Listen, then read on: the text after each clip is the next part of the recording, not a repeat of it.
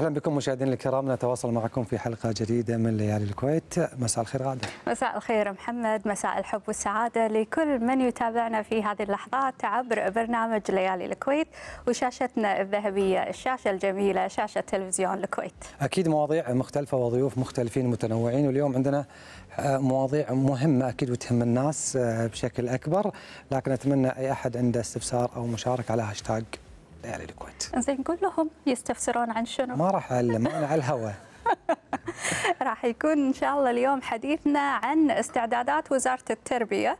وراح نتكلم عن فترة الاختبارات اللي مقبل عليها الأبناء إن شاء الله, إن شاء الله. بس في شغلة محمد دائما أشوفها وما أدري يعني أنا لو علي لو عندي امتحان أكيد ما راح أروح كافيه ويكون معي مثلا جروب بنات أو مدرس علشان يشرح لنا بالكافيه. أحس إني ما راح أنتبه وراح أصير مشتتة يعني من الأجواء. والله تبي إحنا جينا قبل ما في إذا عندك امتحان تنخش بدارك. مكتبة بعد. بمكتبه ولا تنخش بدارك؟ تذاكر الحين لا ما شاء الله عندهم لا قهاوي دائما أستغرب أقول ليش صدق يتجمعون كذي عشان يدرسون؟ زين الضوضاء ما تشتت ذهنهم بالدراسة. والناس خصوصا لما يكون الكافيه مثلا موجود بمنطقة داخل جمعية أو داخل مول فتحس إن أصلا رواد الكافيه إيش كثرهم وحكي زيادة والصوت عالي. ما أدري أنا ما أحس إني ما أركز. أنا أحس إني ما بعد حتى أنا أحس إني ما أركز لكن ما أدري بس إحنا الأفضل قبل. يعني؟ تنخش بدارك وتصك وتذاكر وتدش الامتحان. وتدش الامتحان على طول بقوه على العموم مشاهدينا أكيد يعني الطلبة والمدرسين حتى اللي يلتقون معاهم بالكافيهات أكيد عندهم وجهة نظر معينة هي اللي تسببت مثل هذه الظاهرة اللي فعلا أقدر أقول ان هي ظاهرة لأنها موجودة صار لها سنين مؤخرا. وموجودة بكثرة بعد. فيمكن المدرس ما يقدر يروح بيت كل طالبه يعني بيتهم أو مكانهم الخاص فيحبون يتجمعون داخل هالكافيه. الله العالم. لكن إحنا عندنا هذا التقرير بنشوفه ونشوف آراء كل المشاهدين شنو قالوا.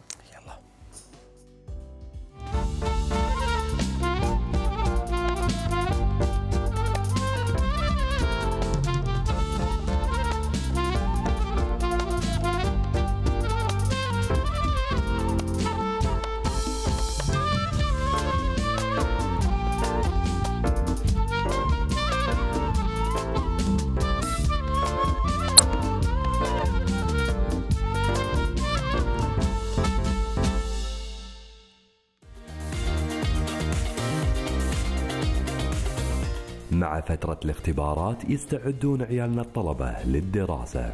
ولاحظنا بالفترة الأخيرة تزايد أعداد الطلبة للدراسة في الكافيهات. وسألنا الطلبة عن سبب دراستهم وتجمعهم في هذه الأماكن. أنا أشوف عادي الموضوع بالعكس يعني ما في مشكلة. بس يعتمد طبعا يعتمد على حسب. إذا كان يدور مثلا كافيه هادي عشان يدرس فيه ممكن بعض مثلا يكون ببيتهم مثلا البيئة مو مناسبة إنه يدرس. فممكن يلجأ حق الكافيه. بس في هم جزء من الناس ماخذينها من الموضوع شو خصوصا فئة اللي يقرون مو الدراسة. أنا أشجع اللي يدرسون برا يطلعون من أجواء البيت. يعني في ناس تلقى عندهم لويا بالبيت يطلع من أجواء البيت يطفي مخه قهوة يمزج مع نفسه. في ناس تقسم سماعات تلقاه مندمج باللابتوب. يعني يطلع من أجواء البيت. والله أريح. يعني أحس إني مرتاح مو نفس البيت. إي يعني قاعد بالقهوة مريح أسولف شوي أرد أدرس فأريح يعني أريح من البيت. من وجهة نظري إن الدراسة بالقهوة يعتمد على نوع القهوة، أحيانا يعني بعضهم تكون هادية اجواءها مريحة حق الدراسة، فيها جو عام حلو الكل يذاكر حوالينك. فهذه أنواع من القهوة يتوقع جيدة يعني. بعد ما سمعنا آراء طلبتنا نقول لهم الله يوفقكم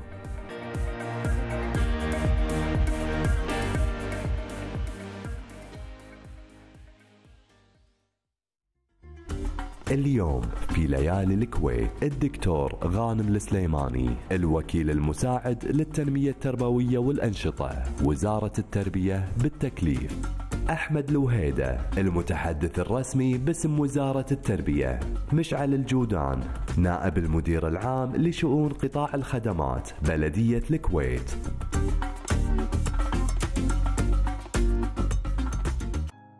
مسرح وكواليس وألف الديكور وأنا آخر سنة حقي. كانه جزء من القرية هي موجودة مرسومة على اللوحة. وايد دقيقة بالتفاصيل. إيش رايكم نسوي لكم معرض؟ وين؟ بالكويت؟ لا برا الكويت. فكان عندنا تجربة يعني أول مرة إني أطلع أمثل الكويت. فكرتك وإعدادك وكله كامل شغلك. يعني أخدم الكويت بأي مجال أكون موجودة فيه.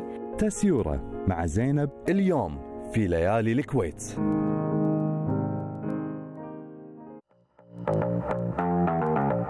ناشط في وسائل التواصل الاجتماعي يقدم رسالة ومحتوى بطريقة مختلفة. راح نتكلم معاه عن دخوله في مواقع التواصل الاجتماعي وحرصه عن المحتوى اللي قدمه لمتابعينه. بريان ناشط في وسائل التواصل الاجتماعي. غدا في ليالي الكويت.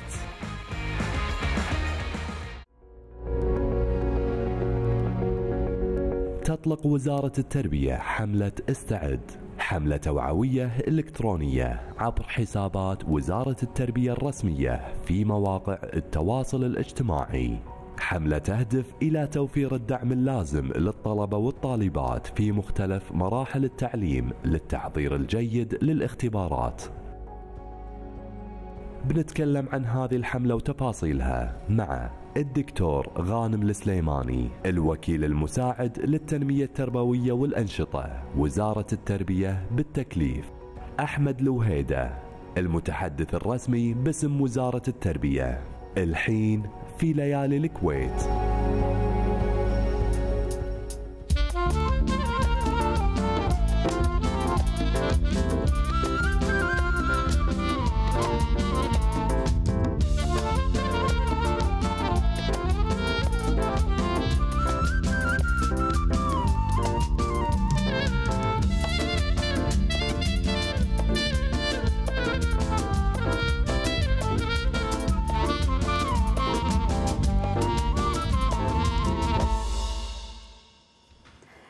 حياكم الله. معنا من جديد ويمكن خلال الفترة هذه شفنا حملة أطلقتها وزارة التربية علشان الطلبة وأهاليهم والكل يستعد لانطلاق فترة الاختبارات النهائية.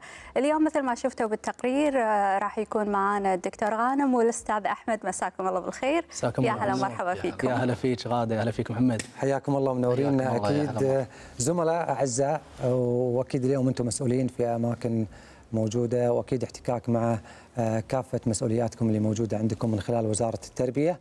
آه، بداية دكتور غانم السليماني تكلمنا عن الحملة اللي قامت فيها وزارة التربية وهي تحت شعار استعد.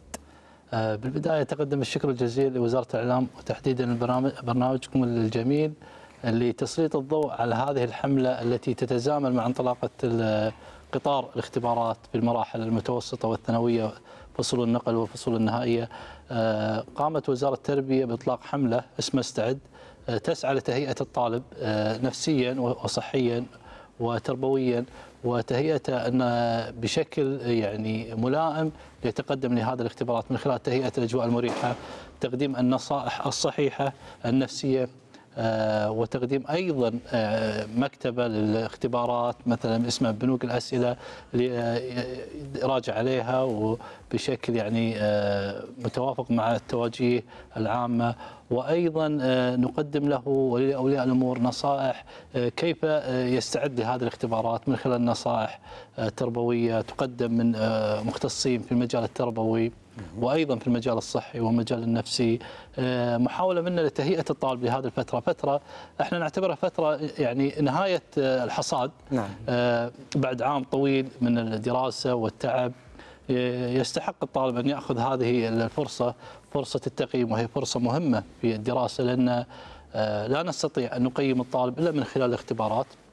والاختبارات كما أكدنا دائما أنها دائما تأتي في في المنهج. في آه، ما تم دراسته من خلال ال- الكتب ومن خلال الشروحات التي آه، يعني استمع إليها طيلة هذا العام، الاختبارات ستكون متاحة و آه، بسيط وبشكل يعني ما نود نعقد الناس ونشحنهم أكثر ما هم مشحونين أولياء الأمور والطلبة. فترة إن شاء الله يعني أتوقع أنها تكون سهلة ومريحة وتعدي. للطلبة وتعدي إن شاء الله وتبقى في الذكريات. ولكن على الطلبة إن شاء الله أن يستمعوا لهذه النصائح. ويلتزموا بالقوانين واللوائح حتى لا يقعوا في المحظور والعقوبات يعني في مثلا لا سمح الله الظواهر السلبية التي يعني قد مثلا يقع فيها الطالب. نعم. ما نعم. أتمنى يكون في في هذا الإطار أتمنى يكون مساره طبيعي وبشكل صحيح. إن شاء الله علشان فعلا يحصد آه، آه، ثمرة جهده جهده الخاص من غير أي تدخلات خارجية أستاذ أحمد آه، ليش اخترتوا إن هذه الحملة تكون إلكترونية نعم بداية أتقدم بجزيل الشكر لكم تلفزيون الكويت وزارة الإعلام وكذلك برنامج هلالي الكويت. أخوي محمد وأختي غادة على إت- إتاحة هذا الوقت وإعطائنا من البرنامج لتسليط الضوء على هذه الحملة واستعدادات وزارة التربية أيضا لفترة الاختبارات. هذه الحملة يعني أتت آه، عن طريق مواقع التواصل الاجتماعي وذلك لسهولة الوصول إلى جميع الفئات المستهدفة في هذه الحملة. نتكلم عن ولي الأمر نتكلم عن الطلبة الطالبات فنقدر من خلال وسائل التواصل الاجتماعي مثل ما إحنا عارفين اليوم اليوم آه، أغلب ال- الطلاب وكذلك أولياء الأمور عندهم آه، الموبايلات اللي هي تليفونات أو عندهم التابلت آه، وكذلك آه، ضايفين مواقع ال- ال- الوزارة المواقع التواصل الاجتماعي فبإمكاننا أن نصل للجميع بأيسر آه، الطرق وأسهلها. آه، هذه الحملة طبعا تركز مثل ما قال ال- ال- الدكتور غانم تركز على تهيئة آه، أبنائنا الطلاب والطالبات و آه، إتاحة عملية الاستعداد على أكمل وجه بالنسبة لهم فيما يتعلق بالجانب التربوي النفسي الصحي. كذلك آه، أولياء الأمور يعني إرشادهم إلى الطرق والسبل المثلى للتعامل مع أبنائنا وبناتنا الطلاب والطالبات خصوصا خلال هذه الفترة اللي تحتاج إلى نوعا ما شوي تركيز يعني آه، عشان يحققون أكبر النتائج وما يطمحون إليه إن شاء الله. يعني إحنا نلاحظ إنه يمكن آه، فترة امتحانات الفاينلز اللي يكونون وايد مرعوبين هم اللي أول مرة بيمتحنوا ويرجع البيت. الفئة النقل هذه. هي. أكثر فئة أن شيء جديد. يمكن الطلبة لما يكون بعمر أصغر أساسا يعني مو هامهم وللحين مو مدركين أهمية الاختبارات. بس فئة المراهقين الصغار شوية بالعمر هذيل اللي فئة نقل فيروحون ويردون الامتحان هذا يسبب له أوه في يعني صحيح يعني في ال- كبيرة بحياتي. بالضبط الصف الخامس والرابع ما عندهم final في ال- صحيح. الفترة الحالية. آه، الصف السادس الآن عندهم final اللي هو مثل ما تفضلتي وهو مو متعود على أجواء الاختبارات وغيره. لكن الحمد لله هم مارين أيضا في فترة اختبارات الفترة الدراسية الأولى. آه، يعني نوعا ما اخذوا نوع من الاستعداد لهذه الفترة إن شاء الله مع وجود الرسائل اللي تقدمها وزارة التربية من خلال المختصين. لذلك إحنا حرصنا أيضا ونوهنا على أن الرسائل ستكون ليست فقط رسائل تربوية فيما يتعلق بالجانب التعليمي التعليمي والتحصيل والأكاديمي. العلمي بالنسبة لابنائنا الطلاب بل هناك رسائل آه، نفسية. نفسية ورسائل لأن صحية يقدمها مختصين. منسية. يعني إحنا دائما بالفاينلز نركز على آه، ثانوية عامة. وننسى الناس اللي توهم مقبلين على مرحلة مختلفة من حياتهم. لا لا ابدا. إحنا عندنا ال- ال- الرسائل اللي موجودة إن شاء الله والبرامج اللي تم إعدادها وكذلك آه، موضوع مصادر التعلم. آه، ما تخاطب فقط فقط فئة الصف الثاني عشر بل تخاطب ال- الحادي عشر والعاشر وكذلك أبنائنا في المرحلة المتوسطة.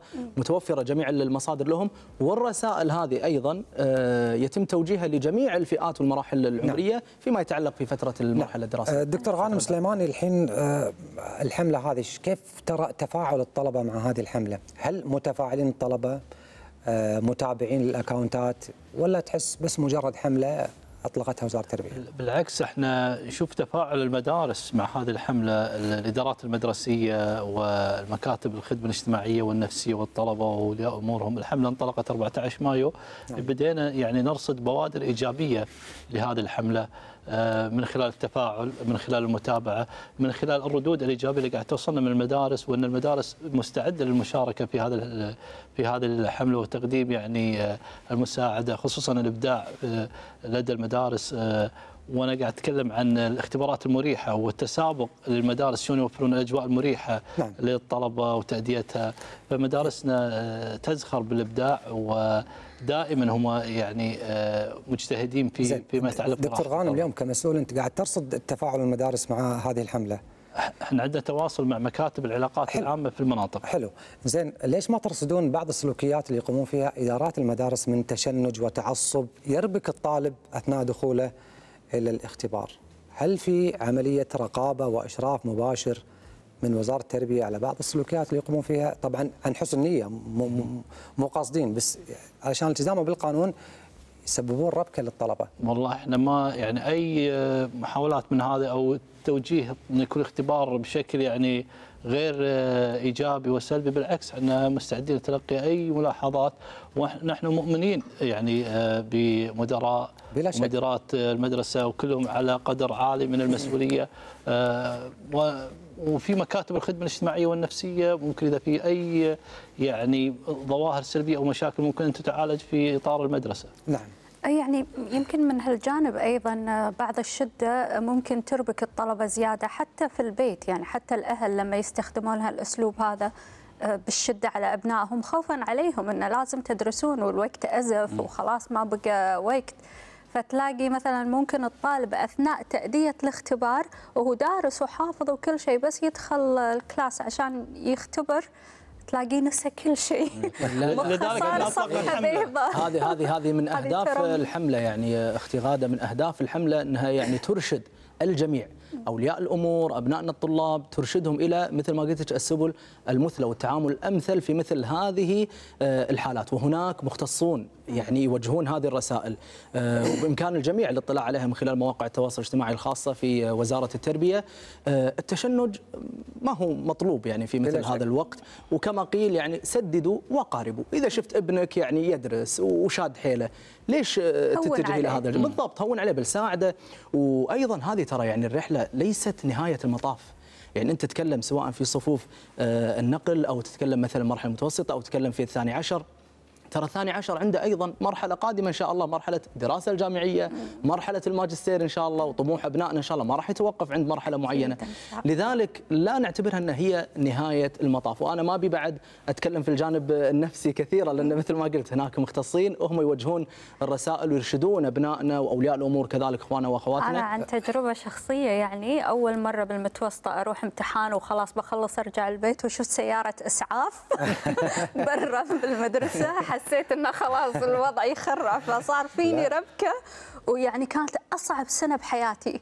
فأنا دائما حريصة على أي أحد بالأهل أو عيال صديقاتي ديروا بالكم. الحين حتى بالامتحانات لما تدش المدرسة وهذا طبعا مسؤوليتكم أنتم اليوم كوزارة التربيه شرطة موجودين. وبعدين حتى حتى مدير المدرسة مع احترامي ايا كان أنا أقول لك أفترض حسن حسن النية مو قاصدين هم.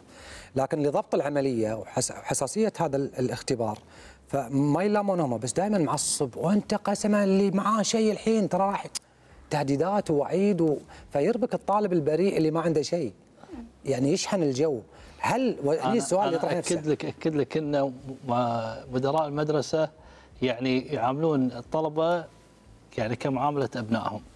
آه قد تكون في نوع من الشدة شدة مطلوبة في التربية أنا مع بس إيه ما قد تكون ولكن صدقني أنا يعني ثقة عمياء بمدراء ومديرات المدرسة بمعنى يمكن بعض السلوكيات يوجهونها يكون بهالطريقة هذه بس يعني إن الأمور تسير وفق يعني جوانب تربوية أبوية ومتابعة من الوزارة والمنظمه التعليمية.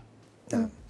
طيب شلون ممكن نعلم أبنائنا إن إن الموضوع هذا ترى يعني لازم يكون انسيابي حاليا وزارة التربية شلون ممكن هي يعني تسليط الضوء ساعات على موضوع ممكن يعطي نتيجة معاكسة سلبية ممكن نعم. أيوه بالضبط نفسية. يعني إنه يضر ما ينفع فإحنا هني شلون ممكن نضبط. المعادلة إحنا إحنا مثل ما قلت لك أختي غادة رسائلنا ليست فقط فيما يتعلق بجانب الظواهر السلبية مثلا وغيرها بل وفرنا مصادر التعلم. يعني عندك أنت بنوك الأسئلة مثلا عندك التلفزيون التعليمي مثلا مقاطع مرئية بإمكان الجميع الاطلاع عليها.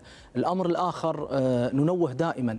على أن فترة الاختبارات هذه إن شاء الله فترة وتعدي وليست نهاية المطاف وما هي آخر مرحلة في حياة الطالب أو في حياة الإنسان بل يليها مراحل كثيرة. الأمر الآخر إذا أنت إن شاء الله استعديت على أتم الاستعداد وبذلت الجهد وأخذت بالأسباب وتوكلت على الله سبحانه وتعالى نعم. ثق تماما أن ما سيحدث بإذن الله هو خير لك سواء هذا الأمر حدث وفق ما ما ترجو وما تطلب أو حدث عكس ذلك ثق تماما إنه خير لك ولنا مشاهد كثيرة يعني وتجارب كثيرة حلو. في إنك تسعى لأمر معين لكن يحصل أمر آخر لكن الاستعداد شك. والاجتهاد والمثابرة واتباع الطرق اللي يحث عليها المختصين يثقون تماما. إن شاء الله راح يحققون أعلى النتائج إن شاء الله. أستاذ أحمد لوهيدة أنت اليوم المتحدث الرسمي لوزارة التربية. نعم. وأنت خير من يمثل حقيقه الله يحفظك. آه، وزارة التربية. اليوم أنت الوجه اللي موجود عندنا اليوم وأنت موجود عندي في ريال الكويت. اليوم بدال الحملة هذه اللي تسوونها خلي المعلمين شوي يعني يخففون من الأسئلة. يعني في في بعض الناس والله صدق متفوقين في مواد في المواد العلمية اسئله يطلعون من الاختبار قاعد نشوف ردات الفعل. يعني كأن الم- المعلم يتحدى الطالب بسؤال معقد. آه، أخوي محمد إحنا آه، ننوه دائما ونؤكد على اعتزازنا بكوادرنا التعليمية بلا شك. وكوادرنا الإدارية. نعم. وثق تماما ثق تماما أن هذه الاختبارات التي يعدها آه، الأخوة الكرام في التوجيه العام في التوجيه الفني بشكل عام تخضع لمعايير معتمدة يتم الاعتماد عليها في صياغة وإعداد الاختبارات. حلو. منها نتكلم على سبيل المثال للحصر الثبات الشمولية الموضوعية. يعني أنت ما تعد اختبار والله آه، الكل راح يجاوب عليه بدرجة كاملة. أنت في هذا المجال تظلم ولا ما تظلم؟ صح. تظلم ال- ال- اللي عنده قدرات أكبر ومجتهد بشكل أكبر وما تعطيه سؤال يميزه عن غيره. ف وننوه على أن الأسئلة في متناول الجميع يعني وزارة التربية عندما تعد الأسئلة تخضع لمعايير عديدة. بلا شك. مو شخص واحد يعد الاختبار ولا لا هذا جهاز كامل نتكلم عنه يعد هذه الاختبارات وتخضع مثل ما قلت لك لم- للمعايير المعتمدة في إعداد آه، الاختبارات. هذا نؤكد عليه. وبنفس الوقت إن شاء الله تكون الاختبارات يعني في متناول الجميع إن شاء الله وإن شاء الله عيالنا طيب قدها وقدها الله. بنوك الأسئلة. غانم، إيه، يعني- بنوك الأسئلة الموجودة في موقع الوزارة ومن المنهج يعني ما راح بس تطلع دكتور غانم إحنا عندنا مشكلة دائما ترافق وزارة التربية واختباراتها إن الحفيظ هو اللي ينجح. الذكي صعب عليه إنه ينجح. يعني مخرجات وزارة التربية من طلبة لما يكونون جايبين النسب العالية جدا أعرف إن هذا حفيظ فقط حفظ وراح كتب اللي هو حافظه من غير ما يكون فاهم أي شيء راح يجيب النتيجة السليمة يعني حضرتك للتنمية التربوية الحين أصبح هناك. أساليب أخرى لاختبار بالضبط. الطلبة ولمعرفة الذكي هو الاختبار هو المقياس ال- أتوقع الاختبار المقياس ال- الوحيد ولكن مثل ما تفضلت إن المناهج ان في طور تطويرها إن شاء الله أن تكون مناهج تعتمد على التحليل والابتكار ما تعتمد على الحفظ والتلقين والحشو وإن شاء الله مع الوزير مشكل لجنة آه، من كوادر وطنيه لتطوير آه، المناهج بحيث انها تستهدف آه، يعني العقول آه، من ناحية التفكير واستخدام المهارات ال- العليا لل- للتفكير ولا تعتمد على الحشو ولا وبعدين عشان حتى نهيئ الطالب للمرحلة المقبل عليها وهي المرحلة الجامعية يعني نلاقي أن مشوار 12 سنة في الدراسة ما له علاقة تماما أول ما يبدي أولى جامعة أو حتى الفاونديشن مال الجامعة. فشلون ممكن نخلي سنة يعني أو 12 ال- عمر 12 يير 12 يعني أو 11 أن هذيل مهيئين علشان يدشون الجامعة من ناحية الاختبارات من ناحية طريقة التدريس لأن عالم ثاني فهو يدخل ينصدم أن اللي طاف من عمري شيء واللي جاي شيء ثاني. لا في في المدرسة يتعلم عن مهارات البحث والكتابة و يعني وضع الأسئلة من خلال البحث العلمي والفروض لا موجودة في في بعض المواد. نعم. ولكن ممكن في المرحله الجامعية تختلف التخصصات يعني. تخصص نعم. كل تخصص له يعني مواد. آه، دكتور غانم أستاذ أحمد وهكتوني. الناس تكتب إن المذيع متحامل على المعلمين وإدارات المدارس. ماني متحامل لهم التحية كلهم. لكن مو هذا القصد. لكن السؤال اليوم بخصوص وزارة التربية في بعض المنصات الغير معتمدة من وزارة التربية وقاعد تنشر لل- للأبناء الطلبه يعني. مثلا منصات آه، فيها نماذج اختبارات غير معتمدة في بعض المنصات ال- الغير مرخصة من الوزارة ولا ولا هي تبع الوزارة. كيف تتعامل وزارة التربية مع هذه المنصة؟ إحنا عندنا منصة رسمية فيها كل الأمور آه، اللي تأتينا من التوجيه المواد ومتاحة بالمجان آه، ويوتيوب وبنوك أسئلة يعني. فليش يروحون حق أي والله. يعني موجودة ومتاحة بموقع الوزارة يعني أنتم مسوين مثل أي درس أي درس يبي يشوفه من خلال يوتيوب موجود. يرجع له. الدرس الدرس يعيده مرة ومرتين. الدروس كلها موجودة. كل ال- المراحل مراحل متوسطه إيه مراحل مصادر مصادر التعلم تعلم. متعددة يعني. ومن ونماذج. ضمن اهداف هذه الحملة مثل ما قلت في بداية حديثي آه، تنويع مصادر ال- التعلم اللي موجودة في موقع الوزارة الإلكتروني. والمواقع المعتمدة أيضا من وزارة التربية. منها اللي تفضلنا فيه اللي هو آه، الفيديوهات التعليمية اللي تشرح الدروس وتشرح موجودة على موقع الوزارة ويتم تزويد آه، أبنائنا وبناتنا الطلاب والطالبات آه، في هذه المواقع وهذه الروابط. أيضا بنوك الأسئلة. موجودة في موقع الوزارة ويتم تزويد الموقع فيها آه، تباعا إن شاء الله فيما يتعلق في شنو بنوك هي الأسئلة. بنوك الأسئلة؟ بنوك أسئلة من المنهج يعني أنت تتكلم عن أسئلة معينة أمثلة لأسئلة أسئلة سبق- أسئلة موضوعية. كلها موجودة. موضوعية موجودة في آه، موقع الوزارة على من كل المنهج. المواد لكل المواد اللي اللي يشملها فترة اختبارات وموجودة في المنهج يعني إن شاء الله لكن آه، مو الاختبار ما يطلع مثلا من بنوك الأسئلة ولا لا الاختبار ما يطلع من المنهج إن شاء الله. وموجود ال- المنهج كامل وموجود ودارسينه والاختبار منه إن شاء الله. وبنوك الأسئلة هذه تساعد كثيرا في معرفة أيضا طريقة السؤال. وطريقة السؤال شو راح يكون موجود في الاختبار وغيره. فتساعد أبنائنا الطلبة بشكل كبير. طبعا الدور اليوم ما يقع فقط على وزارة التربية. اليوم بعد رب الأسرة أولياء الأمور لازم يتابعون أبنائهم من من وين أو يتعاملون مع أي مصدر من مصادر المعلومات اليوم إذا في موقع عندنا بوزارة التربية أنت ليش تروح تخلي ولدك صحيح. يختار مواقع صحيح. ثانية صحيح إذا كل شيء موجود عندك موجود بالمجان ومتاح آه، بشكل يعني واضح ومشرفين عليه موجهين وطريقة جميلة وبسيطة وكل شيء يقدم كل شيء طيب هل ما زال هناك فصول للتقوية داخل المدرسة خلال الفترة اللي تسبق الاختبارات؟ وصول في بعض بعض المدارس آه، تقوم ب آه، يعني استقطاب الطلبة تعطيهم دروس يعني الدرس ناقص مثلا أو يحتاج شرح مرة ثانية. ممكن في مدارس متاحة وموجودة. بس ال- كوزارة ما تلزمونهم بهالشيء؟ آه، المدارس متاحة والمدرسين والمدراء آه، على استعداد. يعني إحنا في مدارس كثيرة تقدم آه، يعني اجتهاد وتعرض دروس تقوية وأيضا موقع الوزارة في دروس آه، نعم. مسجلة. نعم أستاذ أحمد الوهيدة اليوم آه، رسائلكم كلها من خلال هذه الحملة مقدمة إلى آه، الجهاز الإداري في في وزارة التربية وأيضا أعضاء هيئة التدريس إنجاز التعبير أو المعلمين. زين والط- والطلبة أيضا هل تحت الحملة هذه موجود رسائل لأولياء الأمور الطلبه الأسر؟ لا إحنا أغلب رسائلنا لأولياء الأمور والطلبة. نعم. إيه نوجههم. مثل ما قلت لك نرشدهم ال- الطريق الأمثل في التعامل مع فترة الاختبارات من الناحية الاجتماعية من الناحية. النفسية التربوية وغيرها. فالرسائل هذه موجهة موجهة لأبنائنا الطلاب والطالبات وكذلك موجهة لأولياء الأمور في كيفية التعامل خلال هذه الفترة. شلون يحرصون على آه، تنويع مصادر التعلم بالنسبة لأبنائهم؟ شلون يتعاملون مع آه، إذا آه، صح التعبير حساسية هذه الفترة عند البعض. نعم. يعني إنها فترة حساسة شلون يتعامل مع ابنه؟ مثل ما قالت غادة قبل شوي البعض يتوتر وغيره. فشلون يبسطون الأمور ويسهلونها إن شاء الله عشان يحققون آه، أعلى النتائج؟ نعم. نرجو زين. استكمالا بس اللي حديث جميل يا أحمد في منصة استشير استشير موجودة في الوزارة آه، موقع أي سؤال من أولياء الأمور أولياء الطلبة سؤال نفسي آه، اجتماعي ممكن يوجه حق باحثين اجتماعيين ونفسيين في نعم. طريقة التعامل مع الطلبة يردون عليك بشكل مباشر. نعم. دكتور غانم السليماني في تدوير بالاختبارات لإدارات المدارس ولا؟ لا؟ آه، إن شاء الله في تدوير بس راح يكون تدوير آه، مختلف آه، راح يكون على طريق المحافظات مو على داخل المنطقة. فإن شاء الله إن التدوير يعني التدوير يكون خارجي من محافظة الجهرة تروح لمحافظه. مبارك الكبير كذي أما داخل ما تقديرنا الشديد لرؤساء اللجان واعتزازنا فيهم. بس للحفاظ على يعني آه، الإجراءات الإدارية آه، وزير التربية ارتأى أن يقدم هذه الخطوة يكون تدوير شامل على المحافظات.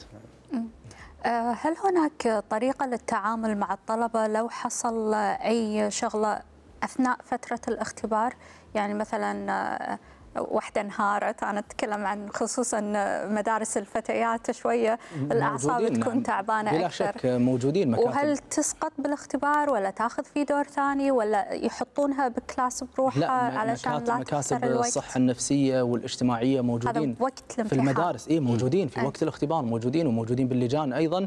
آه، وقت الاختبار يعني موجودين في آه، المدرسة.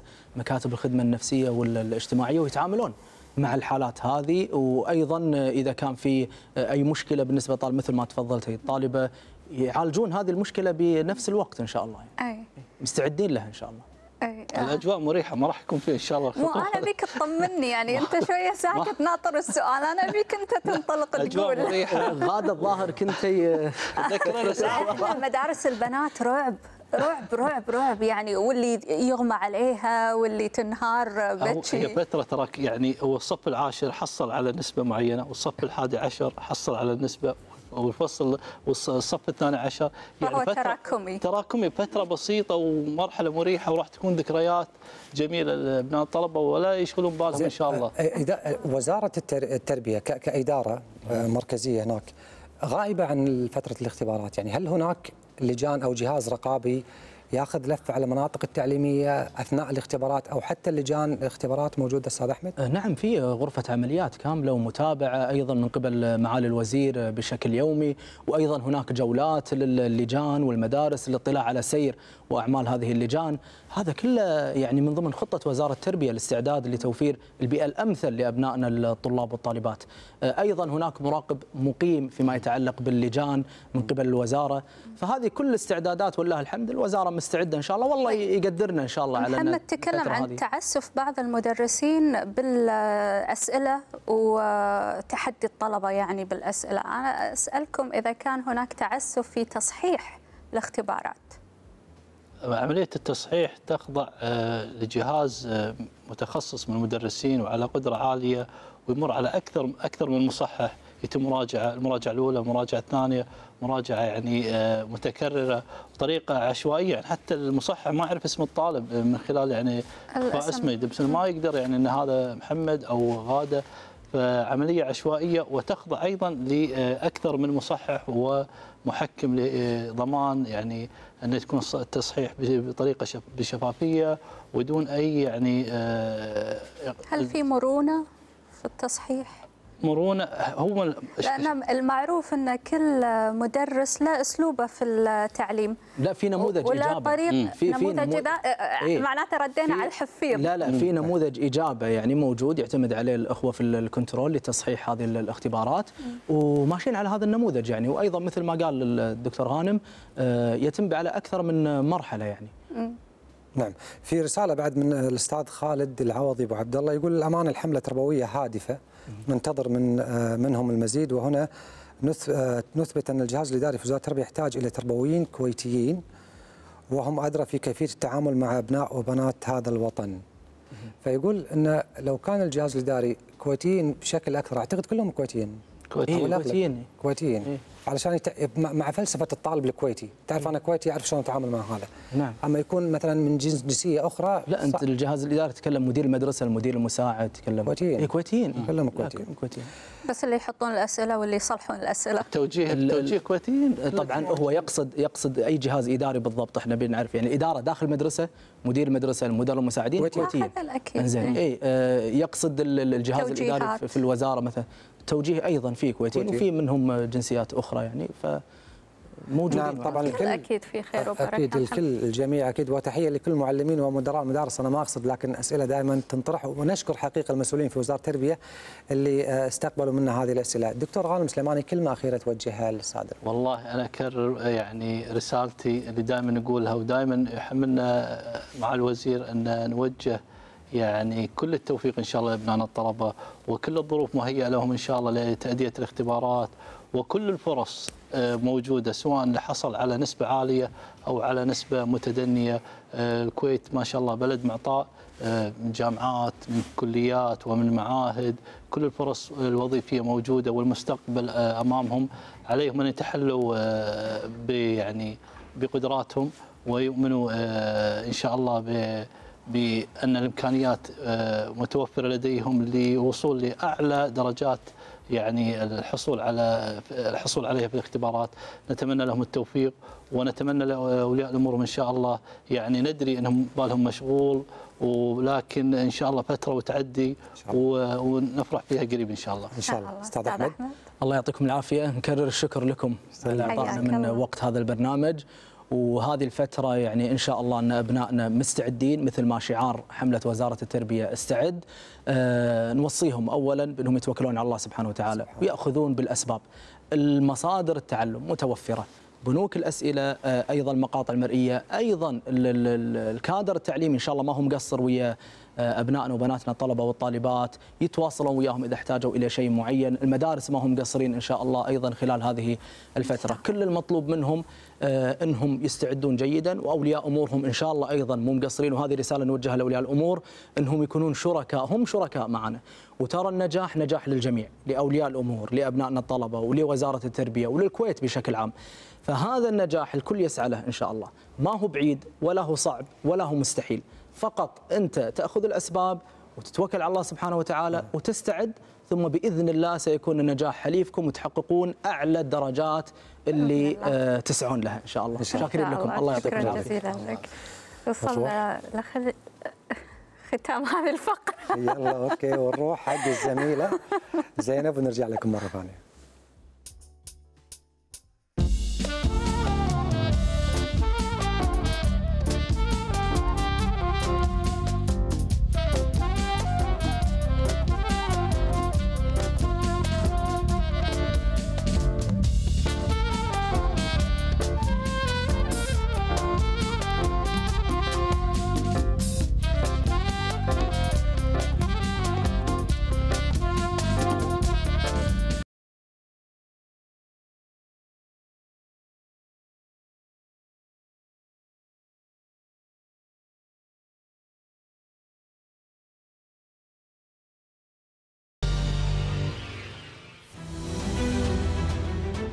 وثقنا حكم الصباح في الكويت. ماذا عن هذه الوثيقة الضخمة والفخمة؟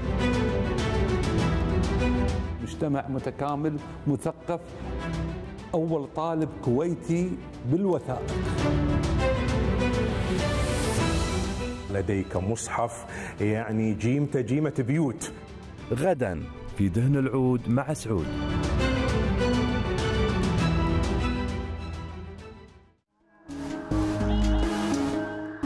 عندها موهبة غنائية خلتها تكون مميزة بين نجوم الجيل الجديد. تبي تبعد ولا تعود وتنسى الحب والوعود. صوتها الدافي وتنوع أدائها زاد من حضورها الغنائي في الخليج. عسى الله يعود لي خلي تراه مطول قدرت يكون لها إطلالة مختلفة على المسرح وشكلت حالة خاصة مع الجمهور.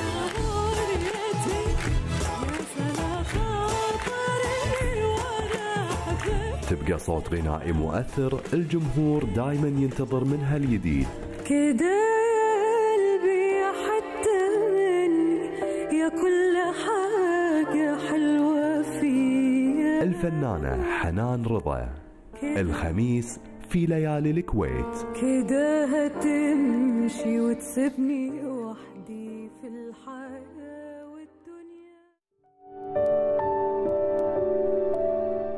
اليوم معانا ضيفة متعددة المواهب ولكن تميزت وابدعت في الفن التشكيلي والديكور والمرأة الكويتية دائما تكون منجزة ومبدعة بأفكارها. خلونا نتعرف على ضيفتنا اليوم الفنانة معصومة الحداد.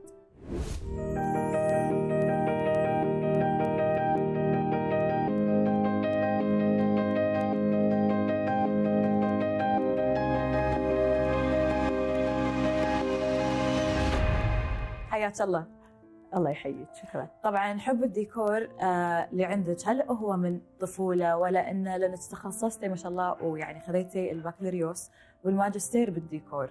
والله حب الديكور جاي جاي مع حب الفن التشكيلي. إنزين. فأنا لما درست المعهد العالي للفنون المسرحية دخل الفن التشكيلي مع الديكور. فكانت يعني مثل تقولين جائزة حقي يعني صارت شيئين بشيء واحد يعني. حلو. وأنا وايد أحب الدراما أحب التلفزيون أحب القصص يعني أنا أكتب مسرحي درامي أكتب. فتخصصت يعني عندي شغلتين الفن المسرحي وفن الدرامي في الماجستير. فيعني وايد حبيت الشغلة يعني حتى لما أنا أشوف المسلسلات ولا أشوف أي عمل أدقق بكل شيء بالديكور بالقصة الدرامية. فأربطهم كلها مع بعض يعني. وشنو كان أول عمل تشكيلي لك بعد ما تخرجتي؟ والله عندي أنا بالتشكيلة كنت أرسم قبل ما أدخل المعهد يعني. فكنت آه، حتى عندي مشاركات برا الكويت من قبل ما إني أدخل المعهد. آه، لما شاركت في معرض آه، تجمع الجامعات كلها فزت بالمركز الثالث في لوحة تشكيلية. حتى أنا ما كنت موجودة بعد بس يوم يوم قالوا لي قالوا انت فزتي. يعني الفن التشكيلي عندي وايد يعطيك أفكار. حلو. وأشياء جميلة بالديكور ولا حتى بمعيشتك اللي موجودة فيها آه، عن طريق الر- الرسم. يعني إذا أنت تبين ديكور يجيلك يدخل الرسم وياه يعني أنا قبل ما أبلش لازم أرسم أرسم الديكور اللي أنا بشتغل فيه وأحط الألوان اللي فيه. حتى الرسم التشكيلي لما أنا ارسمه لازم يصير فيه موضوع. فهو يدخل معاه كله يعني تقول دائرة واحدة ال- ال- بالفن هذا. نفس ما ذكرتي عن المعارض شلون كانت مشاركتك بالمعارض؟ خصيصا إنك يعني رحتي وشاركتي بدول معت... وايد وايد ومن ضمنهم آه، باريس. إي شوفي أول ما بديت في الفن التشكيلي آه، كان معلمنا آه، عبد الرسول سلمان الفنان عبد الرسول سلمان فكنا شاطين عمرنا. عرفتي ال- الاندفاع حق عشان إحنا كنا نرسم كنت اقعد لا بالليل أرسم. إيش رايكم أسوي لكم؟ معرض وين؟ بالكويت؟ لا برا الكويت. فكان عندنا تجربة يعني أول مرة إني أطلع أمثل الكويت ب- خارج. أول دولة كانت بحرين. بعدها قامت تجي يعني الدول الثانية شاركت في مصر شاركت في بحرين شاركت في باريس. حلو. آخر معرض شاركت فيه شهر 11 اللي طاف في مصر. كنا الك- الكويت في قلب القاهرة في دار الأوبرا في مصر. فكانت تجربة وايد حلوة ونبين الفن الكويتي التراثي. صدق وايد حلو ما شاء الله. وأيضا بعد ذكرتي عن مسرحيات وأنت تميزتي أيضا بتصميم مسرحيات آه، داخل الكويت وخارج الكويت بعد صح؟ إي صح صح كلامك. أنا قبل ما أتخرج يعني هذه صارت من الأشياء المميزة. والصدف الحلوة يعني إني أنا أول ما ابلش بلشت سويت مسرحية برا الكويت اللي هي بحرين. كنت آخر سنة من المعهد العالي. سويت مسرحية اسمها Satellite Side كانت تمثل فيها هيا الشعيبي آه وكان هناك ببحرين خليني أقول لك بعد شيء. البحرين ما كان عندهم مسرح. حلو. كان عندهم stage خالي. حلو. تخيلي أنا سويت مسرح وأنا طالبة آخر سنة حقي سويت مسرح وكواليس. حلو. وألف الديكور. وأنا آخر سنة حقي يعني كانت تجربة حلوة. بديتها من يعني من الخشب اللي حطوه لآخر المسرح كله كامل. صدق ما شاء الله. وحبيت إن انت أيضا تلاحظين وايد بالتفاصيل ودقيقين بهالشيء. أي بالضبط. أنا أي. أحب التفاصيل أحب التفاصيل. يعني كنت يعني أنا وايد مطلعة يعني أنا أحب أقرأ وايد. حلو. لحتى من أسافر أهم شيء عندي المتاحف المعارض المسرحيات اللي تكون برا الكويت لازم أكون حريصة فيها. صح. فأحب التفاصيل الموجودة. يعني حتى أنا بلوحاتي التشكيليه لو تلاحظي فيها تفاصيل حتى يقول ليش لا ولازم تكون مرتبة منظمه يعني. صح صح. ما عشان كذي أنا كنت أبي أسألك شنو يعني أساسيات تنفيذ ديكور المسرحي؟ والله شوفي أنا شار سويت مسرحية حق الأطفال مسرحية حلو. حق الكبار ومهرجان. حلو. يعني عندي مهرجان آه، الله يرحمها الشيخه فريحة. قعدت أربع سنوات أنا أسوي آه، أسوي الديكور ويع- ولا معنى حق حب الوطن وحق الأم فأجمع الأثنين.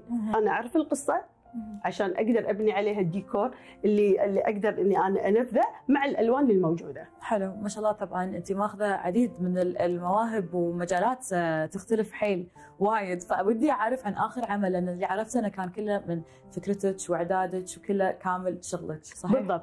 أنا والله شوفي أنا أحب آه، يعني أخدم الكويت بأي مجال أكون موجودة فيه. يعني آه، أحب أشارك في المهرجانات. يعني شاركت في مهرجان آه، مع دولة قطر في عيد الوطني. حلو. فرسمنا جدارية كبيرة. حلو. فاللي عرفها منها شوية أعطوني مو- أعطوني كان في النقابة. النقابة كان عندنا ايفنت كبير حلو. في القرية التراثية في فيلشة كان قاعدة أفكر قلت إذا إحنا بنرسم هناك على الأقل خل اوثق هالشغله بما أني أنا أحب جزيرة فيلشة دائما أنا أروح لها وأحب ال- قلت لك أنا أحب المعارض المتاحف هي مثلا فيلشة متحف كبير موجود.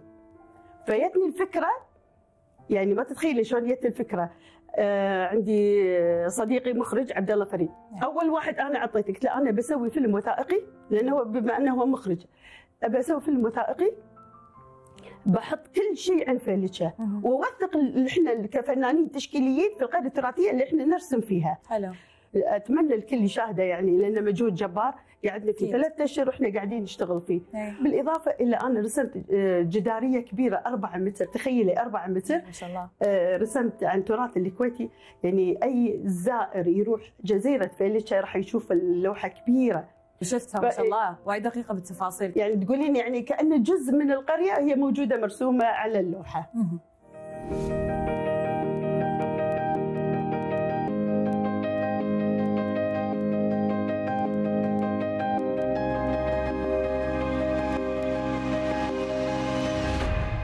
نفس ما شفنا مع ضيفتنا اليوم إنه ممكن يكون عندك أكثر من موهبة وأيضا تتميزين فيها وتبدعين فيها. نشوفكم على خير. مع السلامة.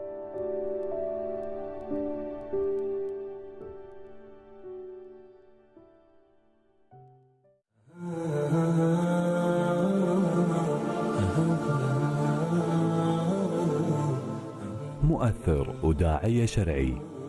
قدر يبني جسور المحبة لقلوب محبينه ومتابعينه بأسلوبه الخاص البسيط الواضح وهالشيء مكنه من تقبل متابعينه لمحتواه وحرصهم على متابعته. الدكتور عثمان الخميس موجه عام في وزارة الأوقاف. بيكون معانا يوم الأربعاء 24 مايو في ليالي الكويت.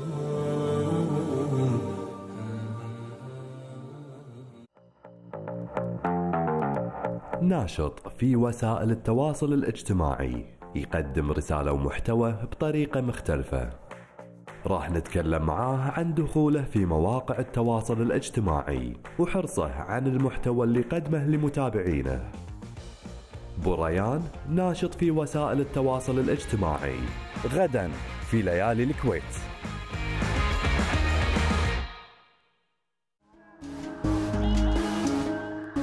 عندها موهبة غنائية خلتها تكون مميزة بين نجوم الجيل الجديد.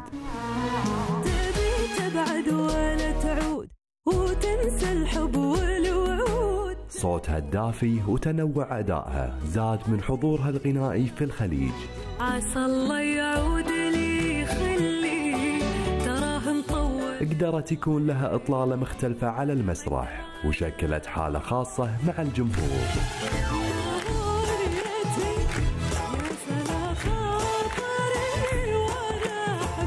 تبقى صوت غنائي مؤثر الجمهور دايما ينتظر منها الجديد. كده قلبي حتى مني يا كل حاجة حلوة فيا. الفنانة حنان رضا. الخميس في ليالي الكويت. كده هتمشي وتسيبني وحدي.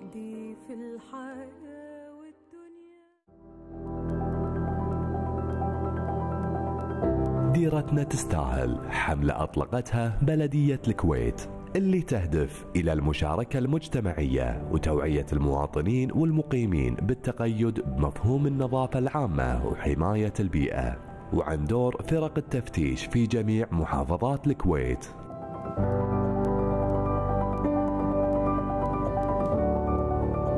كل هذا وأكثر مع مشعل الجودان نائب المدير العام لشؤون قطاع الخدمات بلدية الكويت الحين في ليالي الكويت.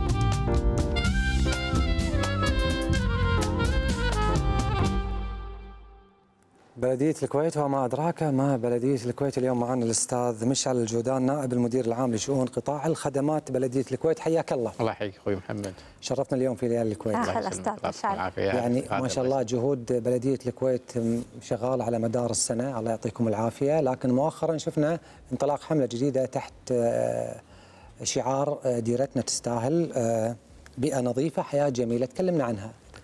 طبعا بداية أشكر برنامج ليالي الكويت على اتاحه الفرصة لنا كبلد الكويت لتقديم يعني حملتنا اللي هي انطلقت في تاريخ 14 5 وراح تنتهي في 13 7 طبعا الحملة عارفين أن بلديه الكويت حملاتها مستمرة ولكن في الآونة الأخيرة انتهينا إلى إطلاق حملة توعوية. طبعا القيام معالي وزير الدولة شؤون البلدية وسعاده مدير عام البلدية في متابعة الحملة الموجودة حاليا. طبعا اللي قاعد نقوم فيها وتوصيل رسالة بلديه الكويت من ناحية اللوائح ومن ناحية التوعية لكيفية التعامل مع النفايات واخراجها. نعم. نعم. طيب آلية عمل هذه الحملة شنو راح يكون مضمونها؟ طبعا راح يتخلى الحملة كل أسبوع حدث تقريبا الأحداث اللي راح تكون فيها رسائل توعوية عن لوائح البلدية وعن أساليب آه، عزكم الله اخراج النفايات عن شنو الالتزامات كمواطن مقيم وشنو التزامات البلدية وشنو الشركات التزاماتها مع البلدية؟ شنو الواجب عليك وشنو الواجب علينا؟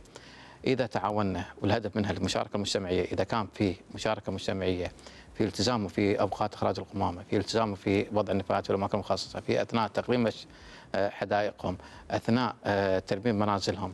في وضعها في الأماكن المخصصة وعدم آه، مخالفة آه، لوائح البلدية راح نوصل حق الهدف اللي إحنا نطلبه، إحنا نتمناه كمواطنين أو كمقيمين أو كبلدية، نتمنى إن نوصل الهدف المرجو إن تكون الكويت رائدة في أعمال النظافة، هذا هدفنا، حاليا قاعد نشتغل، قاعد نوصل لهم رسالة، قاعد نقول ممكن في خلل، طبعا الخلل موجود. بعيونكم. أنتم راح نوصل حق الهدف اللي أنتم تبونه، راح نوصل حق الأماكن الخلل، راح نعالج الخلل، ولكن إذا أنتم ما قاعد توصلون رسالتكم إذا أنتم ما قاعد تتعاونون معنا ما راح نوصل حق الخدمة اللي انت تبيها. أنا ممكن أوصل لك 50% من الخدمة. الخدمة الثانية أنت مساعدتك لنا. مساعدتك راح توصل. إذا ما وضعت النفايات يعني الحين قاعد نشوف بعض النفايات تكون بجوار الحاوية. بعض نعم. النفايات الزراعية. شوفين على امتداد الحديقة. لو قلم حديقته المنزلية وضع النفايات الزراعية داخل الأكياس وضعها بجانب المنزل آه، هني راح يكون دور شركات النظافة في رفع النفايات، في عدم التزامها راح يطبق عليها الجزاءات. هني دور مراقبين البلدية يعني الآونة الأخيرة سوى سوينا اللي هو التوزيع الجغرافية للمفتشين. نعم. مفتشين النظافه يدومون على مدى 24 ساعة. فسنوات توزيع جغرافية كل مفتش له زوم معين يداوم فيه وملزم فيه. بحيث إذا كان في شكوى على منطقته وعدم قيامه. في المهام المنوط فيها راح يطبق عليه آه، هل, هل. المراقب هذا ممكن يسيطر على منطقة كاملة؟ أنا ما أعرف التوزيع مالت بلدية الكويت لكن هل ممكن يعني اليوم لما نشوف سلوكيات سواء كان من المواطن أو المقيم أو حتى من الشركة اللي قاعد آه، تنظف ال- ال- المنطقة؟ ما لمحت مراقب مر علي أنا. زين. إحنا شوف خلينا نتكلم. مراكز النظافة منتشرة في الكويت كلها. حلو. يعني في غالبيه المناطق فيها مراكز. آه كل نوبة تقريبا فيها خمسة. كل نوبة خمس مفتشين يكون فيها. الخمس مفتشين موزعين على المنطقة نفسها. آه دور المفتش التأكد من التزامات الشركة والتأكد من تطبيق اللائحة. حلو. شقين يعني يمشي عليها. الشق اللي هو متابعه شركات النظافة الشق الثاني اللي هو قاعد يتابع لائحة النظافة. يعني أصحاب المحلات التجارية مدى التزامهم في النظافة هني دور مفتش حسب الضبطية القضائية اللي عنده يطبق عليهم القانون. نعم. آه في بعض الناس ما يدروا شنو شنو التزامات البلدية. صح. يعني شنو البلدية دورها؟ لا شنو إحنا خلينا نتعرف شنو التزامات الناس يعني شنو الشيء اللي الناس لازم تاخذه بعين الاعتبار وخلينا نتكلم عن مناطق سكنية لا نروح صوب التجاري يعني طبعا بداية اللي هي الخدمة كلها الخدمة غالبيتها في المناطق السكنيه. لما أتكلم أنا إن حددت أنا ساعه مدير عام البلدية حدد أوقات القمامه حسب التعميم اللي حدده إنه من الساعة السادسة مساء إلى الثانية عشرة صباحا يعني 12 بالليل. حلو. هذا وقت إخراج القمامة، إذا أنا التزمت في الوقت هذا ما راح ألقى نفايات لأن الآليات الشركات راح تدخل بعد الوقت هذا وترفع النفايات، هذا واحد. إذا أنا أثناء إخراج القمامة أحكمت غلق الكيس نفسه وضعه في الحاوية ما راح أشوف تلوث بصري حوالين الحاوية. إذا ما سكبت الزيوت داخل الأكياس الغمامه ما راح أشوف التسرب اللي قاعد نشوفه. هذه التزاماتي أنا كمواطن إني يعني آه، أكون ملتزم في إحكام آه،. خلق الكياس ملتزم في وضعها في الأماكن المخصصة. هني أنا التزاماتي. الحين أنا بقلم حديقتي أشجار يعني في بعض البيوت نشيل منها تقريبا ما عشر آليات يعني يلا تشيل بيت واحد. لما آه، ألتزم وأقلم ال- الأشجار اللي عندي بالحديقة وأحطها بالكياس المخصصة لها وضعها بجانب الحديقة هني تخفف أول شيء عني عبء ثاني شيء ما راح يكون في تلوث بصري هذه التزاماتك لوائح موجودة راح راح انشر لوائحي كبلديه الكويت بس أستاذ مشعل ساعات نحس إن البيت الكبير. يعامل معاملة البيت الصغير من قبل البلدية، يعني حجم الحاوية حتى هو نفسه ذات الحجم لو هو ثلاث طوابق أو هو طابق واحد. فهني في اختلاف آه، لازم يكون هناك يعني اوبشنز عند البلدية علشان تعطيني إياها كمواطن علشان أنا آه، أقدم ال- الشكل الأفضل لما يجب أن يكون. طبعا صحيح إحنا نتكلم إن عقود النظافة إحنا ملزمين فيها كبلدية وكشركات. اللي متعاقدين مع بلديه الكويت. أنا آه العقد آه اللي طبعا آه نص على أن تكون لكل وحدة سكنية حاوية. حلو. سعتها 240 لازم راح إحنا. يعني حاليا في كرؤيه مستقبلية. إحنا عقودنا راح تنتهي ع- يعني آخر 2024 راح تنزل شركات جديدة. من ضمن الدراسة اللي قاعد نحطها حاليا وهي المكتب الاستشاري اللي متعاقدين معاه لتنفيذ عملية النظافة المستقبلية إنه راح يكون الحاوية حجم أكبر بحيث إن تكون نفس شكل الحاوية الحجم ممكن يكون آه، حاليا هي 240 راح يوصل ل 360 لتر حجم الحاوية. راح يراعى فيها المنازل ذات الكثافة السكانية أكثر. نعم. آه هني قاعد نشوف إحنا قاعد نلمس شنو اللي قاعد يحوشنا من عقبات داخل تنفيذ أثناء تنفيذ عملية النظافة. قاعد نضع كل آه، العقبات ون- ونجد لها حلول في آه، مع الإخوان في لجنة النظافة للخروج في عقود مستقبلية بإذن الله إن شاء الله راح تكون أفضل من العقود الحالية وتكون إن شاء الله آه، أنسب لنا ك زين ال- المواطن أو المقيم اللي ما يلتزم اللي يشوف القمامة عزك الله ويقط جنبها حولها ما يقط حتى ما يبطل وما يقط، هل في مخالفة عليه؟ طبعا لائحة النظافة تنص على التزام في رمي النفايات في الأماكن المخصصة. إحنا نتكلم عن لائحة النظافة الموجودة حاليا. آه، اللائحه حاليا هي قانون 190 2008 حاليا في المجلس البلدي والإخوان آه، الأعضاء في المجلس البلدي إحنا كجهاز تنفيذي معاهم في لجنة مشتركة في وضع لائحة جديدة وإن شاء الله راح ننتهي منها قريبا. لا اللائحة هذه قاعد نضمنها جميع القوانين اللي قاعد نعاني منها ممكن يكون في نقص باللائحة القديمة قاعد آه، تعد على اللائحة الجديدة هذه اللي إن شاء الله بالقريب راح تغرب من الإخوان في المجلس البلدي وبإذن الله راح نوصل إلى يعني آه، أي ثغرة موجودة في اللائحة الموجودة حاليا راح نسكرها إن شاء الله بالمستقبل. فهني في مخالفات عليك انت كصاحب منزل أو يعني أو تكلم صاحب يعني سواء مواطن أو وافد آه، بالكويت. عندك مخالفات وعندك التزامات، إحنا عندنا شقين لوائح. لائحة النظافة لقانون 190 على 2008 وقانون 9 على 87 اللي تكلمنا قبل شوي فيه اللي هو طبعا من أجمل القوانين نزل بمرسوم آه، أميري. آه، القانون هذا استمد من سنغافورة. وحاليا هذا القانون هذا راح يعالج بعد وراح يعالج الثغرات اللي فيه. وراح يعالج فيه حتى آه، المبالغ ال- الغرامات الموجودة فيه. راح يكون في آه، رغابة أكثر وتطبيق اللائحة أكثر من قبل المفتشين. نعم. طبعا إحنا حاليا آه، رسخنا مبدأ الثواب والعقاب في بلدية الكويت. الم- الموظف المجتهد راح يكافئ الموظف الغير ملتزم راح يطبق عليه. زين نبي المواطن الملتزم والمواطن أول الغير شيء أنا ملتزم، أطبق ليش. أنا أدفع نفس اللي قاعد يدفعه. مواطن آخر يعني مو خليني أقول شغلة ملتزم؟ لا خليني أقول شغلة واحدة. أنا حاليا أول شيء بقوي الجهاز الرقابي اللي عندي. فالجهاز الرقابي قام يشتغل على حسب التوزيع اللي عنده. دورك كمواطن لازم اوصل, أوصل لك أنا ما يصير أخالفك على طول الحين. قاعد أوعيك قاعد أوصل لك شنو لوائحي شنو التزاماتك. يعني خلال من خلال برنامجكم قاعد توصل له رسالة. بعد الحملة التوعوية راح يطبق القانون عليه. أي مواطن أي مقيم راح ياخذ المخالفة نفسها المخالفة إذا كان رمي النفايات بالأماكن غير مخصصة لها. عدم التزامك في مواعيد إخراج القمامه عدم التزامك في احكامك غلق الكيس ووضعه في الحاوية هذا كل المخالفات راح تطبق عليه. أستاذ مشعل إذا سمحت لي بس بقول لك شغلة. دائما الناس تقط اللوم على مسؤولين آه، البلدية. اليوم هذه الحملة يعني بإشراف من معالي الوزير الدكتور فهد الشعلة وأكيد المدير العام أحمد المنفوحي وكافة زملائك في البلدية. هل من خلال هذه الحملة وانطلاق هذه الحملة هل تعتقد أن المواطن اليوم على وعي بالالتزامات والحقوق من خلال بلدية الكويت ولا الأغلب ما يدري يعني وشنو الخطة من قبل بلدية الكويت عشان توعي الناس بشكل أكثر غير هذه الحملة طبعا البلدية قبل لا تطلق الحملة حطت رؤية مستقبلية توصل إلى تارجت معين من النظافة. نعم. آه قلت لك بالسابق إطلاق حملات نظافة ممكن ما يصير فيها تفاعل من قبل آه الإخوان المواطنين أو المقيمين. حاليا أنا بوصل لك رسالة توعيه حلو. عدم تفاعلك راح يسبب لي إنه ما راح أقدم لك خدمة ممكن آه اللي أنت تتمناها.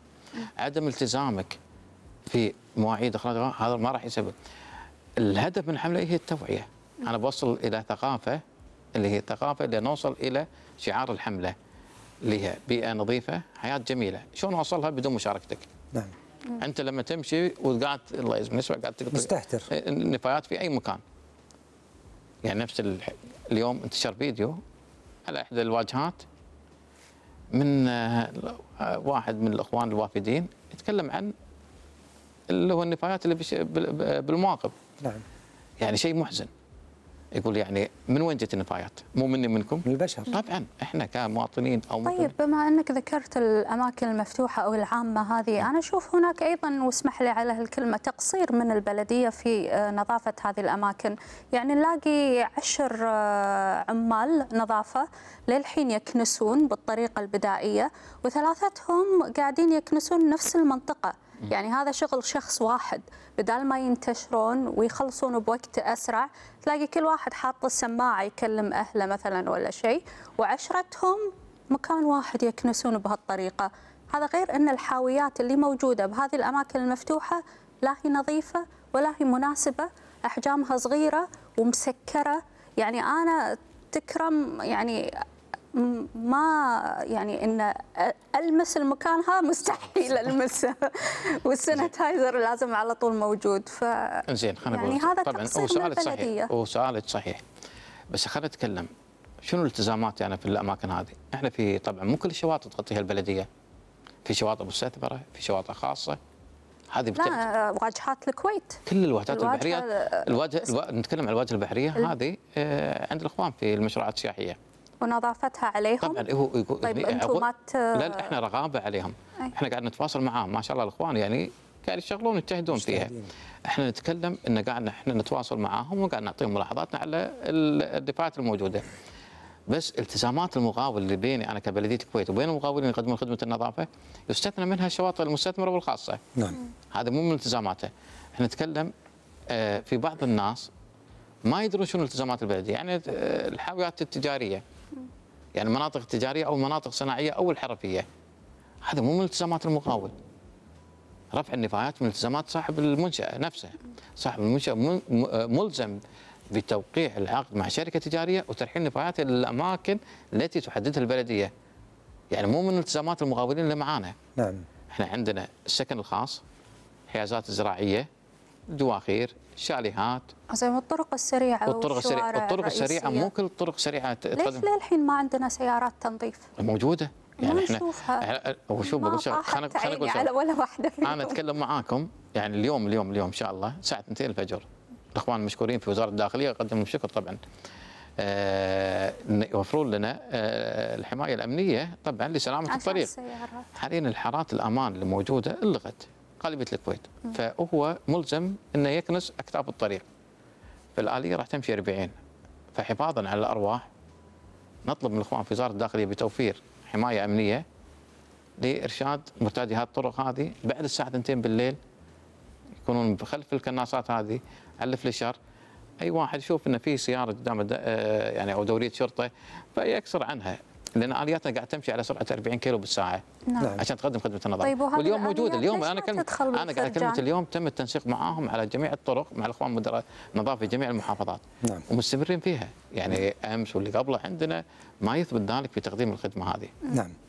أستاذ مشعل الجودان نائب المدير العام لشؤون قطاع الخدمات بلدية الكويت كلمة أخيرة تقدمها للناس. طبعا آه، كلمة شكر لكم كبرنامج ليال الكويت لإيصال رسالة البلدية والدعم بلدية الكويت في حملتها ديرتنا تتساهل وأتمنى يعني من الإخوان المواطنين والمقيمين الالتزام في لوائح وقوانين بلدية الكويت عشان نوصل حق اللي أنت تتمناه. نعم. طبعا النقد البناء إحنا نستقبله بصدر رحب، البلديه تعمل بشفافية نت- في آه، في مواقع اللي هو موقع التواصل الاجتماعي أو سواء الواتساب البلدية للتواصل أو الخط الساخن 139 قدم شكوتك. مع الوزير طلع تعميم خلال 72 ساعة. الرد على الشكوى. 139 إيه، 139 أو الواتساب مع البلديه صور شكوتك أو عن طريق تويتر اللي هو موقعنا في آه، مال بلديه الكويت. نعم قواك الله مشكور. طبعا غاده لازم لازم. نوصل رسالة للناس. يعني لو لو كل واحد التزم في ضوابط وأمور وأساليب النظافة ما احتاجنا بلدية الكويت أصلا. فلو نعول دائما ونقط كل بلاوينا على بلدية الكويت أو على الجهات المختصة. الدور الأهم والرئيسي عليك أنت المواطن المقيم. فلذلك نتمنى نظافة الديره من نظافتنا إحنا. فنتمنى الالتزام في أساليب النظافة علشان نطلع في بيئة صحية جميلة وتبقى كويتنا إن شاء الله نظيفة. بسواعد أهلها. إن شاء الله. ويمكن من أجمل اللقاءات اللي إحنا ممكن نختم فيها برنامج ليالي الكويت لقاء موسيقي. اللقاء الموسيقي تم تسجيله مع الموسيقار الشاب عمر الرحباني. خليكم معاه ونشوفكم على خير في الغد إن شاء الله. مع السلامة. مع السلامة.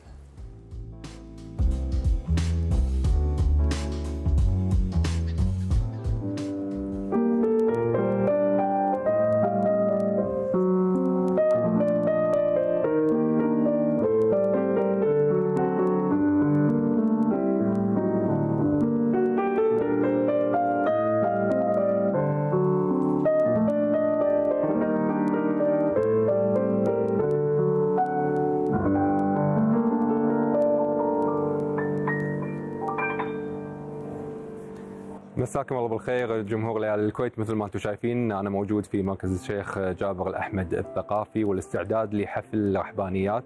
هذا الحفل اللي راح يقدم لنا الجيل الثالث من رحابنا اللي دائما نحبهم ونعشق فنهم في الكويت. المؤلف الموسيقي عمر الرحباني مساء الخير. مساء النور. حياك الله في الكويت. الله يخليك. أول زيارة للكويت؟ أجل أول زيارة. مستعد لجمهور الكويت؟ جدا. ومستعد وسعيد جدا اتشارك موسيقى من لبنان مع جمهور الكويت. نعم يمكن دائما الاستعداد أستاذ عمر يعني من دولة لدولة يختلف أو من بلد لبلد، اليوم الاستعداد للجمهور الكويتي شلون كان؟ استعداد خاص جدا لأنه هذا العمل هو من إنتاج فري جابريه الكويتية وهذا التعاون آه، الأول من نوعه عم بيصير بالكويت عم نبلش من الكويت وآملين إنه ننطلق من الكويت إلى العالم من خلاله. فهذا العمل جدا خاص. أكيد. يمكن قبل فترة أطلقت ألبوم كونشيرتو البيانو number 1 واللي فيه تناغم برازيلي تناغم هندي آه، لبناني. آه، كأن عمر يعني يريد أن يطلع شوي من نهج الرحابنة اللي تعودنا عليه. آه، أنطلق من موسيقى لبنانية لاكتشف موسيقى كمان آه، مختلفة. أنا بحب آه، اكتشف الثقافات والحضارات الموسيقية من خلال شعوبها من خلال موسيقتها. وبحب هال هال هالميكس مثل ما بيقولوا هالتداخل ال- يعني عمر دائما في لقاءاتك تقول بأن يعني موضوع العائلة ورحابنا هو يعني سيف آه، ذو حدين. اليوم إيش كثر تحمل يعني آه، انك انت تبي تضيف لهذا الفن؟ وأيضا آه، تبي تحافظ على الإرث الموسيقي اللي موجود عند الجمهور اللي آه، رحابنا. تكون صريح ضيف على هالفن هو فن متكامل خالص وصار من كلاسيكيات وصار من دخل بوجدان ال- ال- الشعوب العربية بالأخص. آه، تزيد صعب زيد ولكن بنطلق منها لحتى لاقي صوتي لاقي موسيقتي ولاقي صوت المعاصر صوت اليوم صوت موسيقى اليوم. في لقاءاتك كنت أسمع أنك ما تأثرت يعني وايد بالوالد من وجودك معه لكن كنت تسمع عند رفقائك يمكن في المدرسة من الناس آه، أكثر. آه، اليوم إيش كثر يعني بعد ما دخلت المجال الفني وت يعني تبحرت في الموسيقى والتأليف شفت أنك أنت متأثر بوالدك؟ طبعا متأثر من حيث لا أدري. آه، بالنهاية والدي هو أول أستاذ لإلي وأول شخص سمعني موسيقى كلاسيكية وشرقية وحتى جاز وموسيقى برازيلية. ف آه، والدي طبعا موجود كل الوقت وكل الوقت الاستشارات آه، بيني وبينه على طول موجودة وحتى مع خيي وحتى مع أصدقاء كثير ومثل ما قلت تعرفت على موسيقى بيي من خلال الأصدقاء من خلال ال- الجمهور لأنه بيي منه من الأشخاص اللي بحب آه، يسمعني موسيقته. هو بيي بيي عم بحاول يمكن يعلم ابنه يمكن يسمعه بس. لما تجتمع العائلة إيش كثر يصير في نقاش في الموسيقى؟ نقاشات خارج نقاش آه، ال- الموسيقى الرحبانيه ونقاش آه، موسيقى عالمية ولا يقتصر فقط في أعمالنا الخاصة يعني. يمكن في فترة من الفترات يعني واسمح لنا ندخل إلى هذا الباب. تعرضت لحادث آه، في إيدك آه، يمكن اليمنى وتسرب هذا الموضوع للإعلام وصار عندك يعني جهد وتحدي بأنك تعزف في الإيد اليسرى فقط. نعم. عدل؟ آه، إيش كثر هذا الموضوع يعني أثر في مسيرتك هذه ال- الإعلامية والفنية؟ ما في شك بعد هذا الحادث حادث كان موجع لإلي لأنه للحظة فكرت إنه مش رح أقدر بقى أستعمل ايد اليمين. فحطيت كل قوتي وكل تفكيري إني كيف ممكن أستفيد من إيد شمال. واكتشفت إنه إيد شمال معناتها خمس أصابيع مش يعني إيد واحد معناتها خمس أصابيع. ف يعني طورت بموضوع الإيد الشمال لحاول أبني قطعة موسيقية على البيانو فقط بإيد الشمال وقدمتها. ل- لضحايا آه، أربع آب انفجار أربع آب ببيروت. ونقول لك ألف سلامة يعني وأنت مبدع يعني أكيد في كل الأحوال. إذا نستغل وجودك اليوم نسألك عن فيروز يعني هل آه، في لقاء مثلا جمعك معاها؟ هل يعني سؤالك عنها أو عن مثلا من زياد آه، في تواصل؟ التواصل جدا جدا قليل لسوء الحظ لأنه مثل ما بتعرفوا فيروز آه، عندها مكانة خاصة وقاعدة يعني أنا ما كثير بعرف هالتفاصيل يمكن أنا وصغير كنت كثير صغير آه، كنت شوفها كنت كنت ولد. آه، بس لا ما صار في هال- بس بس وجودها دائم دائم دائم. هون. اي إيش كثر تأثرت يعني عمر جدا فيها. يعني موسيقاك أيضا تأثرت أكيد. آه، الجمل اللي بتقولها وكيف كيف كيف بتغني كيف بتأدي. بالفعل بالنسبة لي أجمل صوت بالتاريخ. بالنسبة لي إحنا نحبه دائما في الخليج.